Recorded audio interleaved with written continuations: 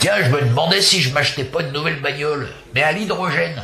Tiens, au fait, à ce propos, euh, c'est quoi l'hydrogène exactement?